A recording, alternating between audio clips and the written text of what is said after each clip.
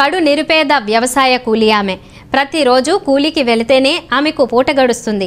అటువంటి ఆమెకు నిలువు నీడలా ఉండే పాతగూణ ఇల్లు ఇటీవల కురిసిన వర్షాలకు శుక్రవారం రాత్రి కూలిపోగా నిరాశ్రయురాలైన ఆమెకు జడ్పీటీసీ లక్ష్మణరావు నిత్యావసర సరుకులు పంపిణీ చేశారు.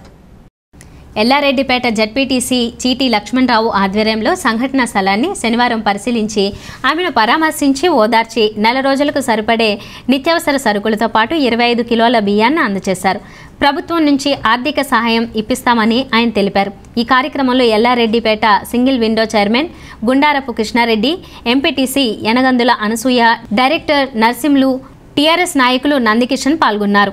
ఆమె భర్త కిష్టయ్య అనారోగ్యంతో మరణించి పది సంవత్సరాలు కావస్తుంది. కాగా ఆమె ఒక్కగానొక్క కూతురు భాగ్యను రాచర్ల గొల్లపల్లి గ్రామానికి చెందిన శ్రీనివాస్ రెడ్డి ఆదర్శ వివాహం చేసుకున్నాడు. అప్పటి నుంచి ఆమె ఆ ఇంటిలో ఒంటరిగానే ఉంటుంది. శుక్రవారం రాత్రి ఇల్లు కూలిపోయి నిరాశ్రయురాలైన నిరుపేద మంకిన పద్మను దాతలు ఆర్థిక సహాయం అందించి ఆదుకోవాలని ఎల్లారెడ్డిపేట మాజీ రైతు సంఘం మండల అధ్యక్షులు గన్న మల్లారెడ్డి నాయకులు యమగొండ పద్మారెడ్డి విజ్ఞప్తి చేశారు. ఆర్థిక సహాయం చేసే దాతలు నిరుపేద Mankena Padma bank account zero seven one seven zero one double zero double zero two four two six two నెంబర్కు పంపాలని వారు కోరారు.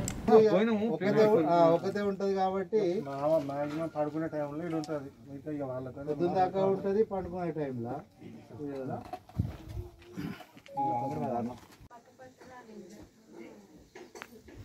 వారం నుంచి వర్షం పడుతుంది కదా పూర్తిగా నానేసరికి వర్షం పడుతుంది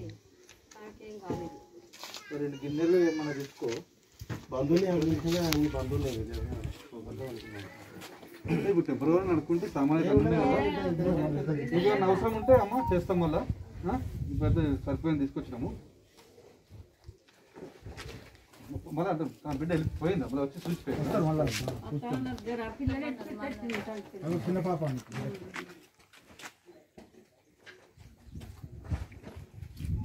తను కూడా అంటే పోతే అయిపోతుంది ఇట్లా వాళ్ళు అసలు చూస్తే